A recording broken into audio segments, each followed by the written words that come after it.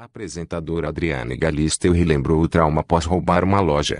Em seu canal oficial no YouTube, a loira relembrou a experiência e contou como tudo aconteceu.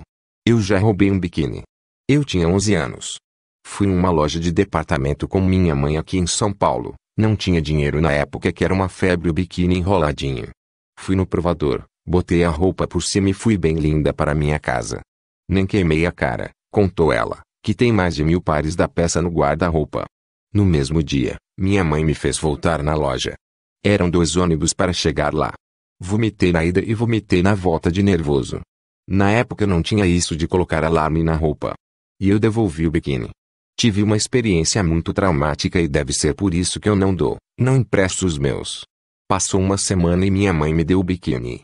Mas primeiro ela me fez passar esse carão. Ela contou que até hoje não consegue se desprender dos biquínis. Não dou, não empresto, é uma coisa que eu tenho apego. Tudo que eu não tenho apego de bolsa, roupa, bijuteria. Não tenho apego nem a carro, como tenho com biquíni. Difícil emprestar um biquíni. Desde que eu me lembre por gente é uma coisa que eu não dou. Disse a loira. Para saber mais se inscreve em nosso canal para receber novas informações.